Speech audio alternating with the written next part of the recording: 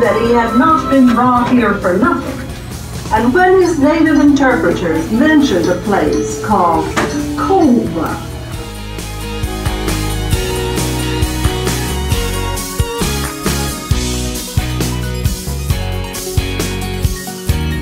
In December, Columbus sailed to Haiti. It feels like I'm at a funeral. The 13 colonies were born in 1607 and they died in 1776 with the birth of the United States of America. Bada bing, bada boom.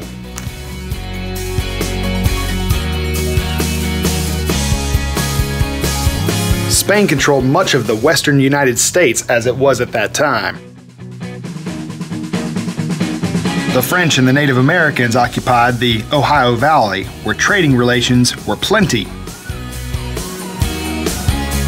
There were three regions in the 13 colonies. You had the New England, you had the Mid Atlantic, and you had the Southern region. There were many different people that lived within the colonies. You had women, children, men, but then specifically you had artisans, which were blacksmiths, silversmiths, goldsmiths, then you had farmers who didn't make a lot of money, but they still contributed to society. You had Native Americans that still lived in the area. Then you had architects and cobblers. Then you had indentured servants, which they served about seven year terms in exchange for a free passage to the New World.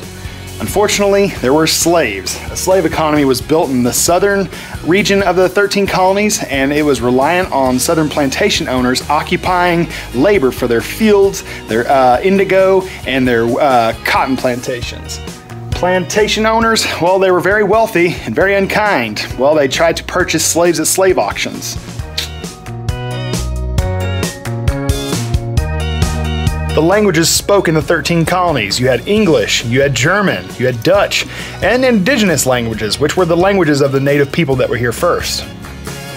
There were different religions throughout the 13 colonies. You had Puritans, Anglicans, Protestants, Roman uh, Catholicism, Judaism, and then you had native uh, religions, whatever religions they participated in.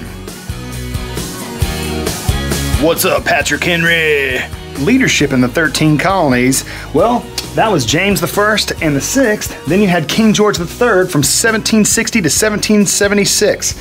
Sorry, man, we're headed for divorce.